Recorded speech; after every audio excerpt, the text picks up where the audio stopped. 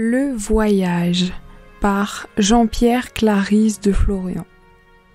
Partir avant le jour, à tâtons, sans voir goutte, sans songer seulement à demander sa route, aller de chute en chute et, se traînant ainsi, faire un tiers du chemin jusqu'à près de midi, voir sur sa tête alors s'amasser les nuages dans un sable mouvant, précipiter ses pas, courir en essuyant orage sur orage, vers un bruit incertain où l'on n'arrive pas.